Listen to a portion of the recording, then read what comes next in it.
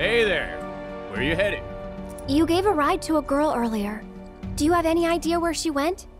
No, and if you don't need a ride, then get the hell out of here. Can't you see I'm trying to work? Can't say I can, no. What'd you say to me, you little...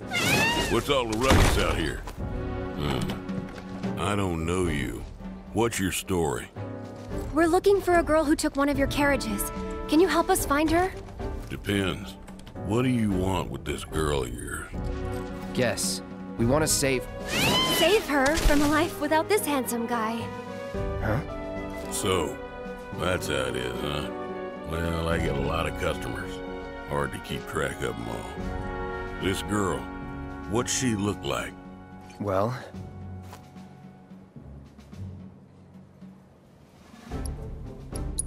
She's in great shape. Is that really important? Wait a minute. You talking about Tifa? That's her. Oh, looks like someone's got a bit of a crush.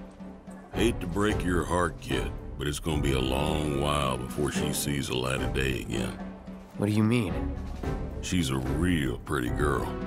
Corneo's hosting another audition, and Tifa was chosen as a candidate An audition for what?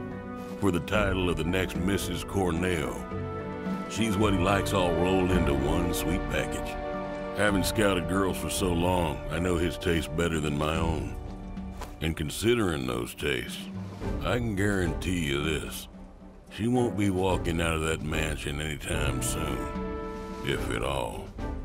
So where can we find this Don Corneo? What are you asking for? Thinking of raising holy hell or something?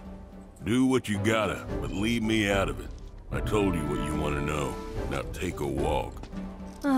and there goes our best lead yet. Maybe we'll have better luck in town. Let's check it out.